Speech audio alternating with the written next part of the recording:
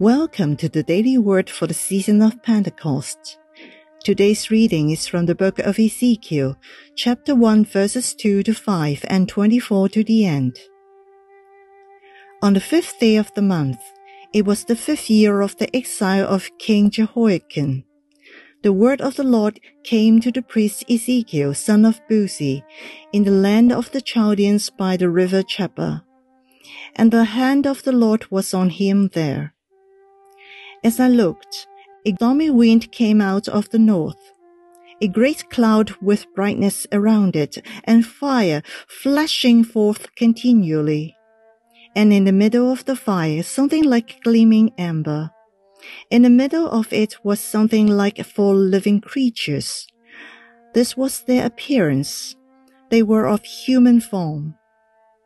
When they moved, I heard the sound of their wings like the sound of mighty waters, like the thunder of the Almighty, a sound of tumult like the sound of an army. When they stopped, they let down their wings, and there came a voice from above the dome over their heads. When they stopped, they let down their wings, and above the dome over their heads there was something like a throne, in appearance like sapphire and seated above the likeness of the throne was something that seemed like a human form.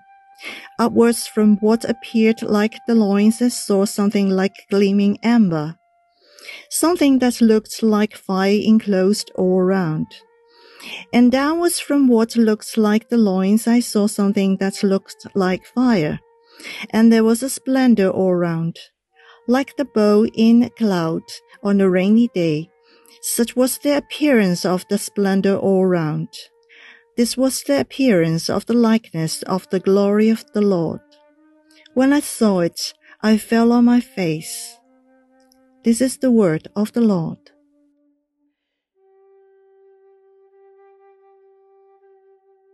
The sovereignty of God.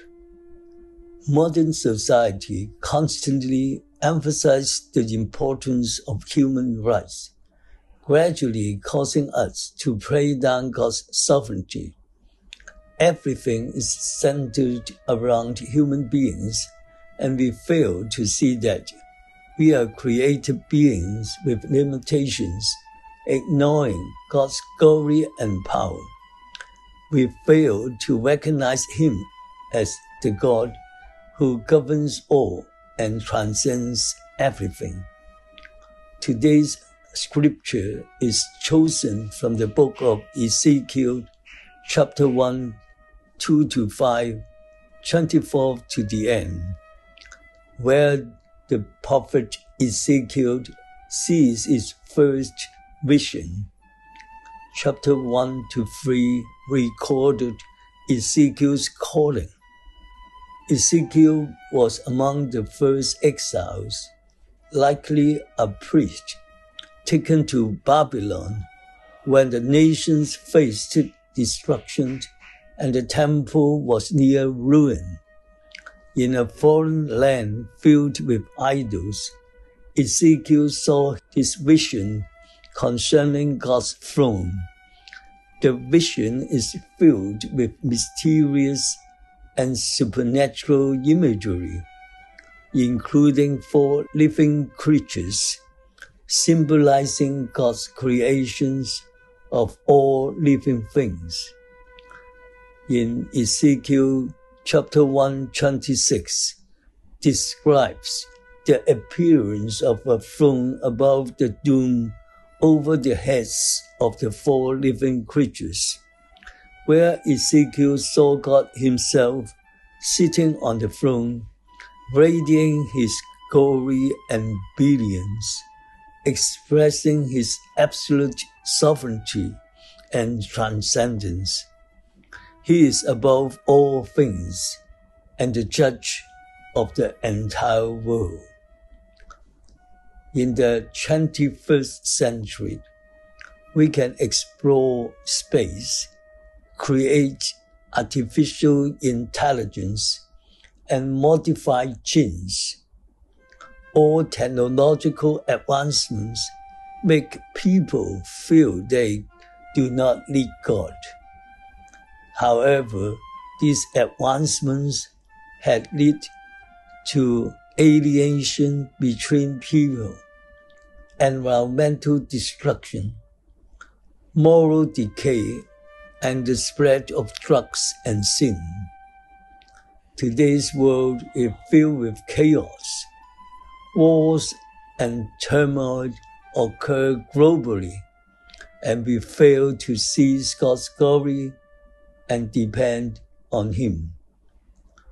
Although Ezekiel's vision seems incredible and non intelligible, it brings us hope and strength in times of trouble for God still reigns, bringing justice and redemption from his throne above the firmament. Let us take a moment for reflection. In the world of chaos, do we see God's glory?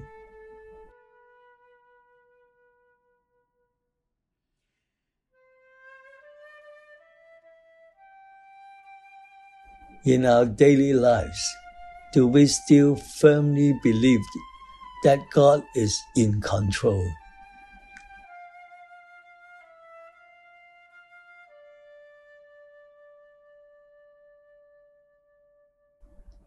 Recall an experience of being with God, feeling His help and salvation.